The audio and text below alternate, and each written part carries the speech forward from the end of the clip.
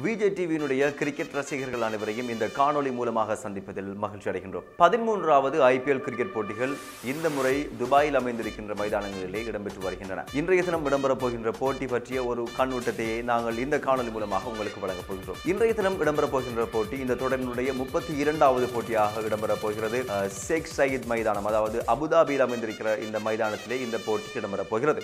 Kolkata night Riders மற்றும் Mumbai Indians ஆகிய அணிகள் இன்றைய தினம் பல பரீட்சை நடாத்த இருக்கின்றன இந்த மைதானத்திலே. இந்த தொடரில் மொத்தமாக ஏழு போட்டிகளிலே இதுவரை விளையாடி இருக்கின்ற கொல்கத்தா நைட் ரைடர்ஸ் அணியை வழிநடாத்தி இருந்த தினேஷ் கார்த்திக் இன்றைய தினம் தலைமை பதவியிலிருந்து விலகி இருக்கின்றார். அவருக்கு பதிலாக இன்றைய தினம் கொல்கத்தா நைட் ரைடர்ஸ் அணியினை இயன் மோகன் வழிநடத்துவதற்கு தயாராக இருக்கின்றார் மும்பை இந்தியன்ஸ் அணியை பொறுத்தவரைக்கும் ரோஹித் சர்மா ஒரு மிகச்சிறந்த ஒரு தலைமைத்துவத்தை வழங்கிக் கொண்டிருக்கின்றார். ரோஹித் சர்மா இன்றைய தினமும் மும்பை இந்தியன்ஸ் அணிக்கு தலைமை பொறுப்பினை எடுத்து இன்றைய தினமும் அந்த அணியை வழிநடத்துவதற்கு தயாராக இருக்கின்றார்.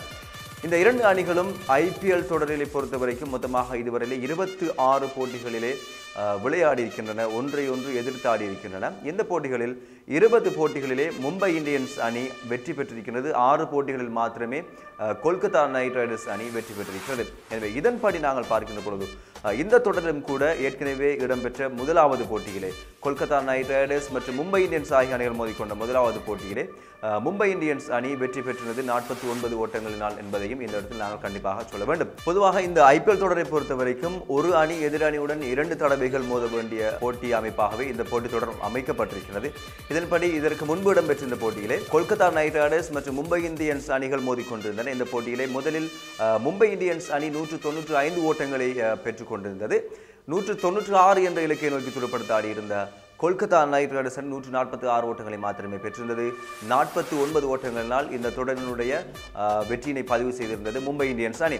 எனவே இன்றைய தினம் இடம்பெறப் போகின்ற இந்த போட்டியிலும் கூட மும்பை இந்தியன்ஸ் அணி வெற்றி பெறக்கூடிய வாய்ப்புகள் அதிகமாக இருப்பதாக கிரிக்கெட் விமர்சகர்கள் கூறுகின்ற கருத்துக்கள் அடிப்படையில் நாங்கள் காணக்கூடியதாக இருக்கின்றது. மொத்தமாக இந்த பதிமூன்று தொடர்களிலும் இடம்பெற்றிருக்கின்ற போட்டிகள் அடிப்படையில் நாங்கள் பார்க்கின்ற பொழுது மும்பை இந்தியன்ஸ் மற்றும் கொல்கத்தா நைட் ரைடர்ஸ் அணிகள் மொத்தமாக இருபத்தி ஆறு போட்டிகளிலே மோதியிருக்கின்றன. இந்த இருபத்தி ஆறு போட்டிகளில் மும்பை இந்தியன்ஸ் அணி இருபது போட்டிகளிலே வெற்றி பெற்றிருக்கின்றது.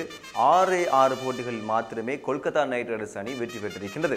அதேபோன்று நாங்கள் இன்னும் ஒரு தகவலை பார்ப்போமாக இருந்தால் அதாவது அதிகூடிய ஓட்டைகளுக்காக இருநூற்று முப்பத்தி இரண்டு ஓட்டங்கள் பெறப்பட்டிருந்தன கொல்கத்தா நைட் ரைடர்ஸ் அணியினரால் மும்பை இந்தியன்ஸ் அணிக்கு எதிரான போட்டியில் என்பதும் குறிப்பிடத்தக்கது. அதேபோன்று மும்பை இந்தியன்ஸ் அணியினர் இருநூற்று பத்து ஓட்டங்களை பெற்றிருக்கிறார்கள் கொல்கத்தா நைட் ரைடர்ஸ் அணிக்கு எதிராக. அதேபோன்று அதிகுறைந்த இலக்காக நாங்கள் பார்க்கின்ற பொழுது அறுபத்தி ஏழு ஓட்டங்களை கொல்கத்தா நைட் ரைடர்ஸ் அணி தான் பெற்றிருக்கிறது. மும்பை இந்தியன்ஸ் அணி கொல்கத்தா நைட் ரைடர்ஸ் அணிக்கு எதிரான போட்டியிலே நூற்று எட்டு ஓட்டங்களை அதிகுறைந்த இலக்காக பெற்றிருக்கிறார்கள் இன்றைய தினம் இடம்பெறப் போகின்ற இந்த போட்டியிலே கொல்கத்தா நைட் ரைடர்ஸ் அணியினுடைய துடுப்பாட்ட வீரர்கள் ஆண்ட்ரூ ரசல் இயன் மோர்கன் மற்றும் கில் ஆகியோர் பெரிதும் பிரகாசிப்பார்கள் என்று எதிர்பார்க்கப்படுகிறது. அதேபோன்று மும்பை இந்தியன்ஸ் அணியை பொறுத்தவரைக்கும் ரோஹித் சர்மா போலாட் மற்றும் ஹார்திக் பாண்டியா இஷான் கிஷான் ஆகியோர் இன்றைய போட்டியிலே அஹ், அதிகளவான ஓட்டங்களை பெற தெரிவிக்கக்கூடிய வாய்ப்புகள் இருப்பதாகவும் எதிர்பார்க்கப்படுகிறது. கிரிக்கெட் விமர்சகர்களால் எதிர்பார்க்கப்படுகிறது என்பதும் குறிப்பிடத்தக்க விடயமாக இருக்கிறது. அதேபோன்று பந்து வீச்சை பொறுத்தவரைக்கும் பெட் கமின்ஸ் மற்றும் சக்கரவர்த்தி சுனில் நரன் ஆகியோர் பந்து வீசக்கூடிய மைதானமாக இந்த மைதானம் அமைந்திருக்கிறது.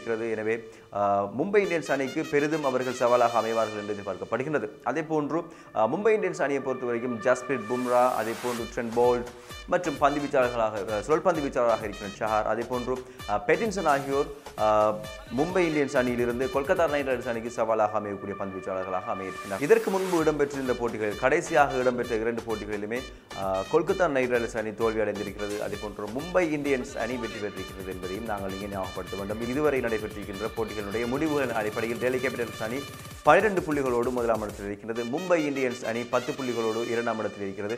கொல்கத்தா நைட் ரைடர்ஸ் அணி ஏழு போட்டிகளில் விளையாடி நான்கு போட்டிகளை வெற்றி பெற்று எட்டு புள்ளிகளோடு நான்காம் இடத்தில் இருப்பதும் குறிப்பிட்டு சொல்ல வேண்டிய விடயமாக இருக்கிறது. இன்றைய போட்டியிலே மும்பை இந்தியன்ஸ் அணி வெற்றிபெறமாக இருந்தால் பன்னிரண்டு புள்ளிகளை பெற்று முதலாம் இடத்திலே இருக்கின்ற டெல்லி கேபிட்டல்ஸை தரமுறைக்கு மூன் முதலாம் இடத்துக்கு முன்னேறக்கூடிய வாய்ப்புகள் இருக்கின்றன. அதே போன்று இன்றைய போட்டியில் கொல்கத்தா நைட் ரைடர்ஸ் அணி வெற்றிபெறமாக இருந்தால் பத்து போட்டிகளை பெற்று தரவரிசையிலே நான்காம் இடத்தில் இருக்கக்கூடிய வாய்ப்புகளை தொடர்ந்து இருக்கிறது.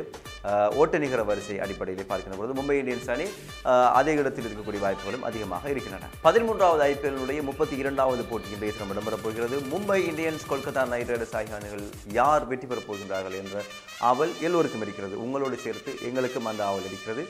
போட்டியினுடைய முடிவுகளை நாங்கள் மீண்டும் உங்களுக்கு அறிய தருவதற்கு தயாராக இருக்கின்றோம். மற்றும் ஒரு காணொளி மூலமாக.